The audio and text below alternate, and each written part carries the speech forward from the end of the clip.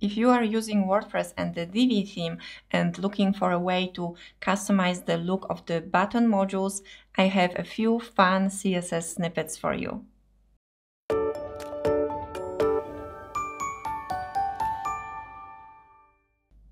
Hello, my name is Ania and my goal here is to help you build beautiful websites.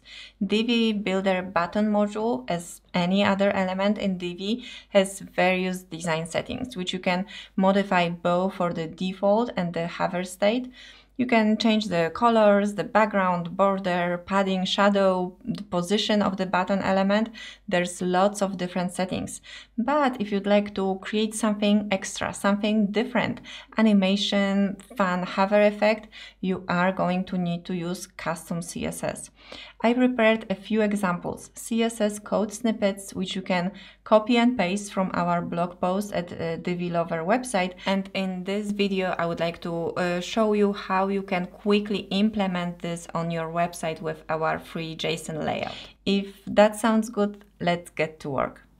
First, let me show you the demo page and my examples. Here we have some fun with icons. The default icon would be simply put next to the text, but with a different background color, we can create something else and different, and we can also position the icon on top of the text on hover with different animation styles. Now, if our button doesn't use the icon, we can take advantage of the CSS after pseudo elements and instead of the icon, we can display additional text on hover, also with different animation styles.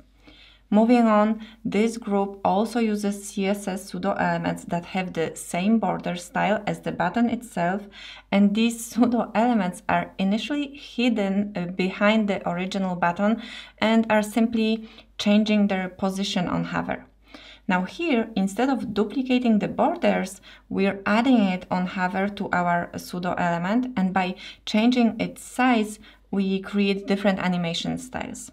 And the last group shows CSS animation that happens infinitely, not just on hover. You'll be able to use that CSS on any module, not just buttons, and if you'd like to draw extra attention to, uh, to an element. Keep in mind that you really want to be careful with this type of animations, only use it sparingly. Okay, so as I mentioned, I included the CSS code on our blog and you can go ahead and copy and paste the CSS snippet for the button style you'd like to use. But I also prepared a free JSON layout which you can import to your site, easily edit one of the buttons and copy the corresponding CSS. Let me show you. Once you import the layout in Divi, you'll have a full list of my sample buttons and next to each button I included a code module with the corresponding CSS code. Let me give you a few tips on how to best use this layout. Let's say you want to use that first button style, the first example with the icon on the right so you can go into the button settings, change any uh, design styles, uh, change your fonts, your colors, and then you can create a new preset from current styles. Let's call it a button with icon. And now you'll notice that the CSS class is actually part of the preset. So the next step would be to copy the CSS code, which is right next to it in that code module. So everything in between the style tag from here up until here, I will copy that and uh, paste in my theme options, custom CSS. Now, one thing you'll notice is the um, hex code for the background behind the icon you can change it to your own. And don't worry about the notice error here. This is the correct code. It just Divi doesn't recognize the new CSS properties. Like variables here. But you can edit that uh, color to match your your brand. Now if I save the changes and add a new page using the builder. And let's say I want to add a new button and if I change the preset to my button with icon, it already uses that uh, that style. So just if we publish that real quick and exit the builder, you'll see that it has that uh, nice animation. And if I go back to the visual builder, just to show you real quick, in the button settings, that CSS class is right here, uh, grayed out, added as the default. So you don't have to remember it. Every time you choose that preset, uh, that class will be right here for you. Now, a few things to keep in mind, which may not be so obvious.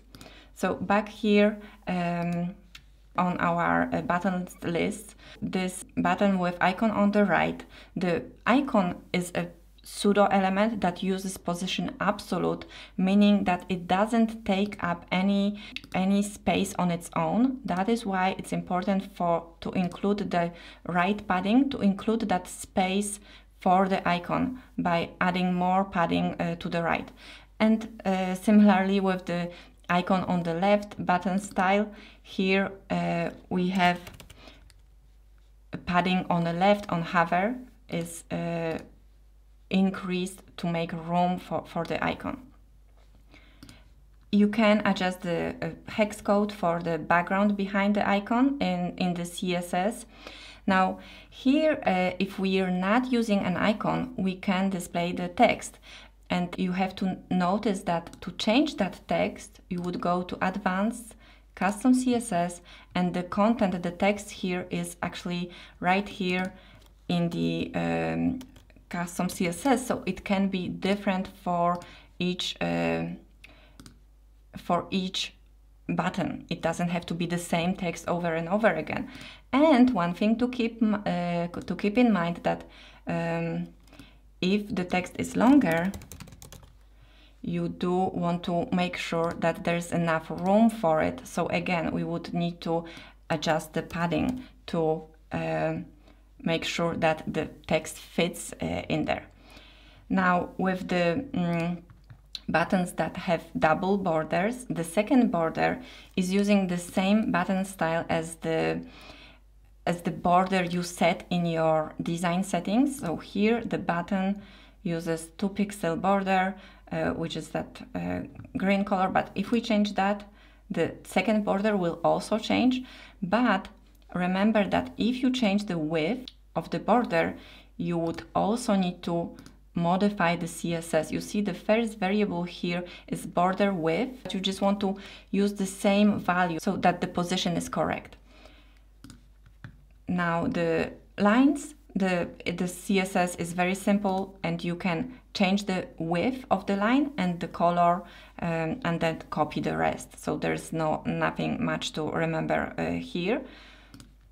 And for, for the last uh, CSS snippets, these can be added to any module really. So it's a simple copy and paste. You can change the shadow color, for example, or the border color uh, to, to match your brand. But other than that, it's a simple copy and paste. And then that class mentioned here can be used on any module, not just a, a button.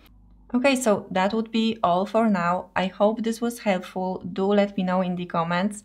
As always, if you have any questions, feel free to get in touch. I would love to see you inside our Divi Lovers Facebook group. Thank you for watching and see you next time.